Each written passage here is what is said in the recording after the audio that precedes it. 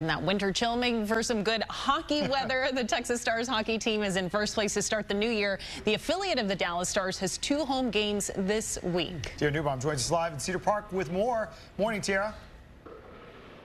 Man, we are excited. Two games this weekend and several games before the end of the season here at the HEB Center in Cedar Park. Curtis, Good morning. Thank you for joining us. You guys have two games this weekend. What's the atmosphere like here when people come out? It's been awesome. Um, yeah, fans have been great, especially when we're doing well. That that they seem to flock out. Uh, yeah, so hoping a big crowd and a lot of noise out here.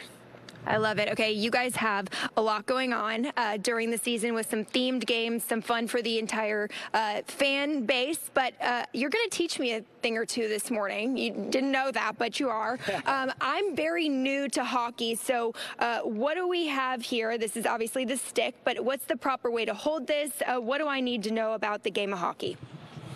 Well, yeah, first, I guess you're using the stick to hit the puck around the ice. I, um, I guess it's a new game to Texas down here, but uh, people that come to it seem to love it. So uh, we, are happy to share the game around um, the Austin community. Uh, but yeah, you're holding a stick. You got left-handed or right-handed, so kind of like baseball where you can switch hit or hit both ways. Usually, guys on uh, in hockey pick one way. Uh, personally, I'm a lefty. Okay. So I hold my stick this way. Okay. And then just yeah, your top hand up here, and then so when you're, I'll let you hold the mic. All right. When you're cruising around the ice, are you holding it up like this?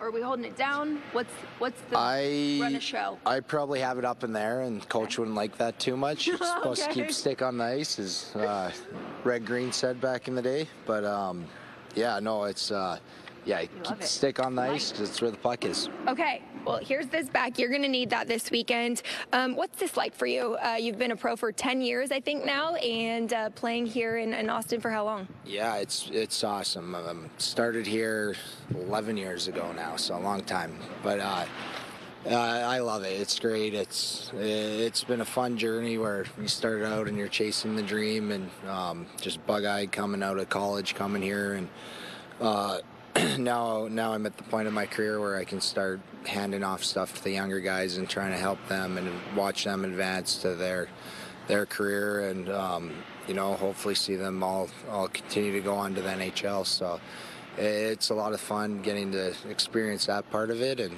um, try and win some games along with it. What's your message to the community to come out, see a game, support you guys?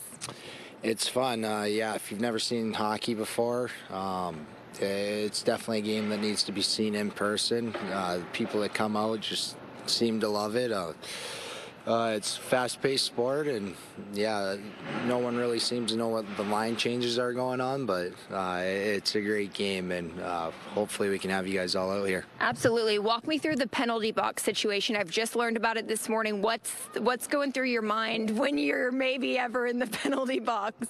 Uh, well, I have a couple toddlers that are naughty, and every once in a while you have to put them in their room for a little timeout. So it's kind of like us on the ice. Where if we're if we're the bad boys, we we got to go go over and sit in the penalty box for your two or five minutes, and then you get to come out and play hockey again. A literal timeout for adults. I love it. Curtis, thank you so much. Good luck the rest of the season. Guys, we'll send it back to you in the studio. TexasStars.com for tickets. All right. We're ready for you to hit the ice, Tierra. you got pretty close there. Yeah. Me too.